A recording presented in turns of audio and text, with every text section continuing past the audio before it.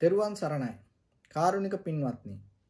ඔබේ ජීවිතයට අදත් මම පුංචි කතාවක් කියා දෙන්නට යන්නේ. එක්තරා කාලයක වනයක කැලයක හිටියා බොහොම වයසක සිංහෙක්. මේ සිංහයා ටිකක් කම්මැලි. ඉතින් හරියට සතෙක් එහෙම දඩයන් කරගන්නෙත් නැහැ. මේ වෙලාවේ දවසක් මේ ළඟින් ගිය කපටි නරියෙක් මේ සිංහාව දැක්කා. දැකලා නරියා කල්පනා කරනවා මට ඉතින් සත්තු මරන්න බෑනේ. හැබැයි මේ සිංහාව භාවිතා කරලා මට පුළුවන් සත්තු මරා ගන්න. එහෙම වුණොත් එහෙම මටත් හොඳට හැමදාම අලුත් මස් කන්න පුළුවන්. කියලා මේ සිංහයා ළඟට මේ කපටි නරියා ලං වුණා. එහෙම ලං වෙලා කියන්න පටන් ගත්තා රජතුමනි ඔබතුමා දැන් වයසයි. එහෙම මේ තැන් තැන් වල ගිහිල්ලා දඩයන් කරන්න අවශ්‍ය නැහැ. මට පුළුවන් හැමදාම අලුතෙන් සත්තු ඔබතුමා ළඟට ගේන්න. ඔබට ඔබතුමාට තියෙන ළඟට එන සතාව මරලා ඒකෙන් කොටසක් මටත් දෙන එක. ඉතින් මේ කම්මැලි සිංහයා කල්පනා කරලා කරා ළඟට ගෙනල්ලා දෙනවා නම් ඕක මරා ගන්න කෙච්චර දෙයක් කියලා නරියත් එක්ක එකඟතාවයකට ආවා එහෙනම් ඒ විදිහට වැඩේ කරමු කියලා. දැන් ඔන්න නරියා තැන් තැන් වල යනවා සත්තු හොයාගෙන. මෙහෙම යනකොට බූරුවෙක් හිටියා. නරියා කල්පනා කරා මේ ඉන්නේ හොඳ දඩයමක් කියලා බූරුවා ළඟට ගියා. අනේ බූරුවෙක් වට මේ බූරු දෙනා. ඉතින් මේ වෙලාවේ නරියා මේ බූරු දෙන ළඟට ගිහිල්ලා කියනවා යාළුවේ මොකද නිකන් දුකෙන් වගේ. එතකොට අර බූරු දෙන කියනවා අනේ මට හරි ස්වාමියෙක් නැහැනේ. මම මේ මෙච්චර කාලයක් මේ ගෙදර වැඩ කර කර හිටියා.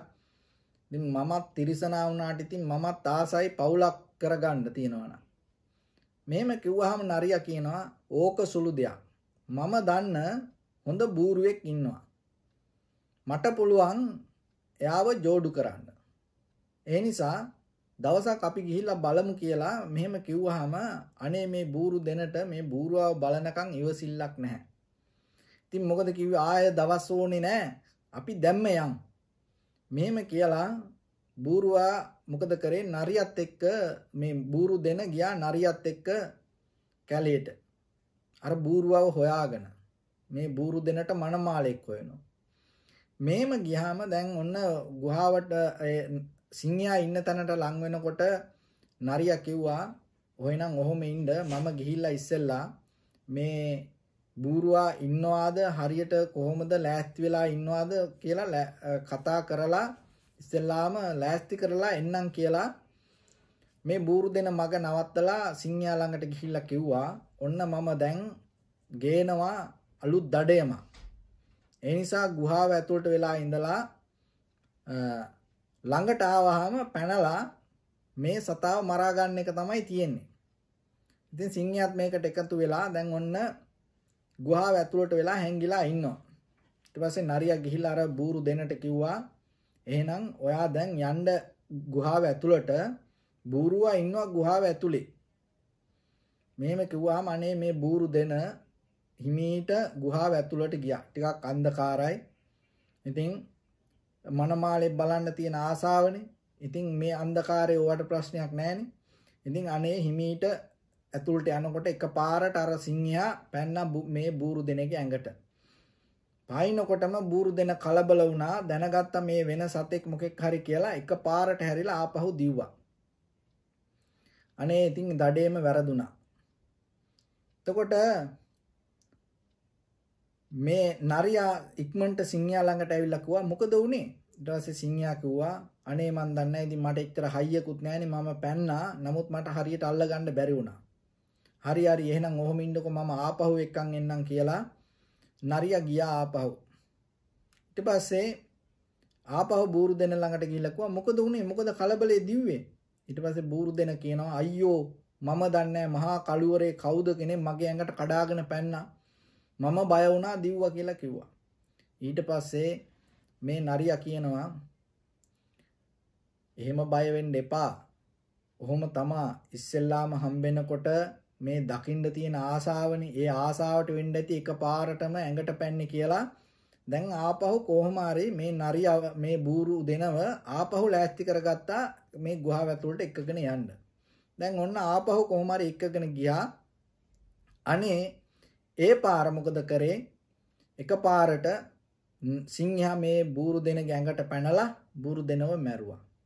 දැන් මේ සිංහෙන්ගේ ගතියක් තියෙනවා මේ මොලේ කණ එක. සතෙක් මරපුවාම මේ සතාගේ මොලය කෑම සිංහෙකුගේ පුරුද්දක්. මොකද ඒ සිං ඒ මොලේ මේ තියෙන ලේට සිංහයා මේ බොහොම ආසයි. ඉතින් දැන් මේ සතාව මරලා සිංහයා කල්පනා කරනවා කාලයකට පස්සේනේ හොඳ දඩේමක් හම්බුනේ. ඒ නිසා මම නාලා එහෙම එන්න ඕනේ කියලා නරියට කිව්වා එහෙනම් යාළුවේ ඔයා මෙතෙන්ට වෙලා ඔහොම ඉන්න මම ගිහිල්ලා නාලා එහෙම එන්නම් කියලා. එහෙම ගිහිල්ලා සිංහයා හොඳට නාලා එහෙම එන්න ගිය වෙලාවේ නරියා කල්පනා කරනවා අපි ඉතින් නරිනේ අපිට කොහෙද මේ සිං මේ සතෙක් මරපුවාම මොලයක් එහෙම අපට කන්න හම්බෙන්නේ නැහැ. අපට ඉතින් එහෙම කලාතුරකින් තමයි ඔය නිකන් අතෑරපු මස් කෑල්ලක්නේ අපට වේලිච්ච මස් කෑල්ලක්නේ කන්න හම්බෙන්නේ. අද තමයි හොඳම අවස්ථාව ජීවිතේ මෙන්න මේ අලුතෙන් මරපු සතෙක්ගේ මොලයක් කන්න මට අවස්ථාව තියෙනවානේ දැන් කියලා නරියා මොකද කරේ? අර මරපු බూరు දෙනගේ මොලේ කෑවා. දැන් කාලා පැත්තකට වෙලා ඉන්නවා. දැන් ඔන්න සිංහයා නාලා එහෙම ඇවිල්ලා දැන් හොඳට ලෑස්ති වෙලා කණ්ඩ ලෑස්ති වෙලා ඉස්සෙල්ලාම බැලුවා අත දාලා මොලේ. අනේ බලනකොට මොලේ නැහැ. ඒ වෙලාවේ සිංහයා කියනවා කොහොමද මේ මොලේ නැති වෙන්නේ කොහොමද මේ මම දැන් මේ බොහොම ආසාවෙන් හිටිය මොලේ කන්න. මොකද මේ මොලේට උනේ කියලා ඇහුවා. ඒ වෙලාවේදී දැන් නරි සිංහයා නරියත් එක්ක බොහොම තරහා ගිහිල්ලා කෑ ගහලා කියන ඔබ කෑවද මේ මොලේ කෑවද කියලා නරියව අල්ලගත්ත බෙල්ලෙන්. නරියා ඊට පස්සේ ඉතින් කියනවා අනේ ස්වාමීනි ඔය බూరు දෙනට මොලයක් නැහැ.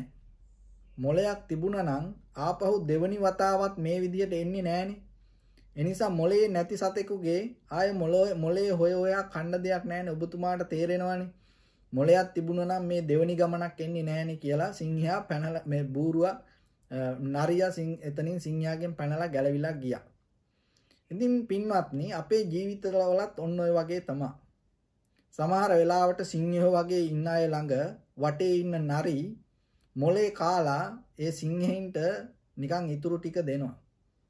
ඒ වගේම තමයි සමහර වෙලාවට අනුන්ගේ කීම් වලට එක එක සම්බන්ධතා වලට මැදිහත් වෙලා සමහර වෙලාවට ජීවිතේම අනතුරේ දාගන්නවා.